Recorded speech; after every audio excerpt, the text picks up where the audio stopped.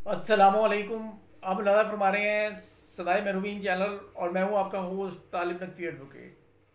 हर शख्स जो इंतज़ार कर रहा था पेंशनर्स बेताब थे, बहुत ज़िक्र हो रहा था साजिद तूरी साहब के तकरीब का और उसमें उनके ख़ताब का और मुबैना पेंशन इंक्रीज़ का। आज हम इसका मामला सबसे पहले आपके सामने खोल रहे हैं।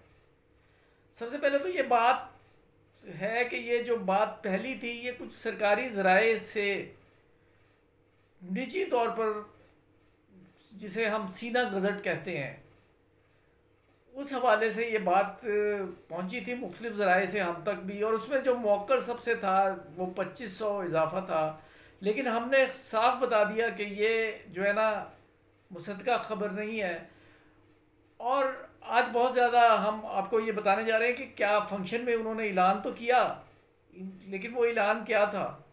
इंक्रीज़ का ऐलान हुआ और उसका इफ़ेक्ट कब से हुआ? ये हम आपके सामने पेश कर देते हैं। हकीकत हाल ये है कि इस्लामाबाद में कोई फ़ंक्शन नहीं हुआ। और ये फ़ंक्शन हुआ है तिमर गरा जो दीर की एक का मुकाम है। वहाँ इन्होंने ख़िताब किया है और एक सियासी ख़िताब किया है। और रवायती तौर पर उन्होंने ये कहा है कि हम जो है ना तमाम वसाइल बरुए कार लाएँगे कि तीस हज़ार रुपया जो है वो पेंशन की जाए। तीस हज़ार रुपया उजरत की जाए। ये पेंशन का ज़िक्र नहीं है इसमें उजरत का ज़िक्र है। और इसके लिए हम तमाम वसाइल जो हैं वो लाएँगे।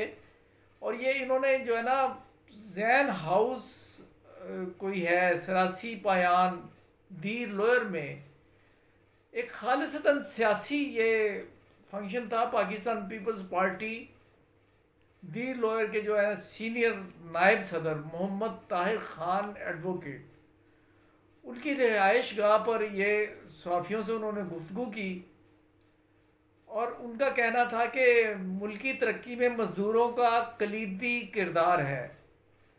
मौजूदा वफाकी हुकूमत जो है, वो बकौल उनके मुल्क भर में मज़दूरों के अस्सी हज़ार बच्चों को प्राइमरी से लेकर पीएचडी तक की मुफ़्त तालीम दे रहे हैं।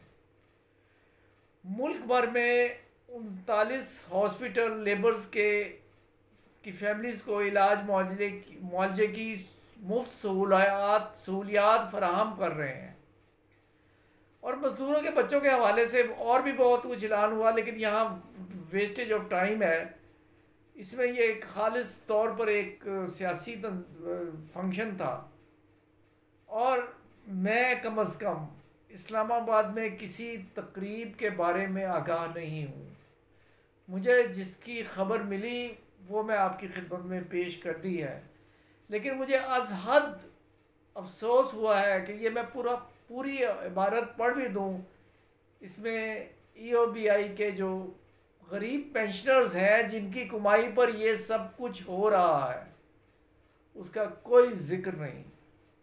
और मैंने जो ख़बर दी, और उसमें मैंने कहा कि ये बाज़ लोग तो ये कहते हैं कि जैसे वो उनके पास खड़े थे, और उनके कान में सरगोशी की गई है। मैंने ऐसी बात कोई नहीं की थी।